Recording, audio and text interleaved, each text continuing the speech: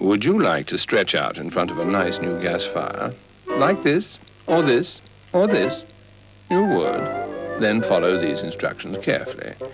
Tell your owner there are lots of gas fires now with 20 pounds off, like this, or this, or this. That should persuade him to give up his old gas fire.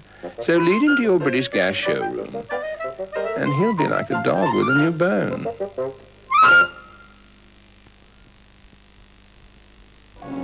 Every woman has a Valentine's Day desire. Black magic. Working hands dry up. Vaseline Intensive Care Lotion's richer formula rubs into dry skin fast and leaves working hands feeling softer and smoother. Enriched Vaseline Intensive Care Lotion.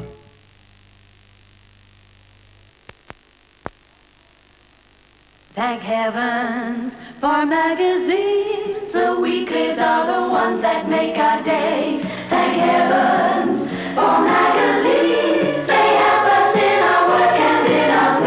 Woman's Realm, Woman's Weekly, Woman, Woman's Own, your great weekly magazines. In Woman's Realm, frankly feminine fashion and beauty. A gripping story of love and intrigue by Norah Lofts. Money-saving meals just like Mother used to make. In Woman's Weekly, eight pages of patterns for these irresistible hand knits. And we cut the cost of your yarn.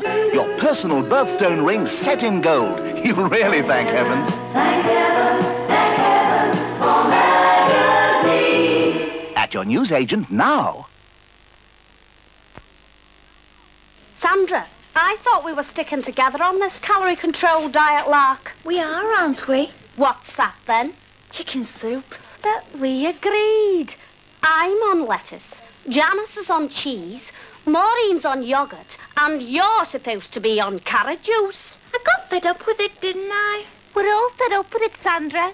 I thought so. Chicken soup, 170 calories. It's only 65 calories. 65 calories? Come off it, Sandra. Do we look stupid? Heinz low-calorie soups treat slimmers like normal human beings. This is the Mosman Ferry, and since 1913 it's been carrying people to and from work. It's all part of the routine of life in Sydney. But some years ago, something happened here which was definitely not routine, and its cause was, surprisingly, a margarine.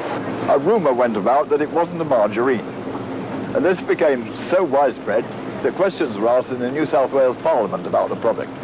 People couldn't believe that it was a margarine. Its taste was that good. You know it as Krona margarine.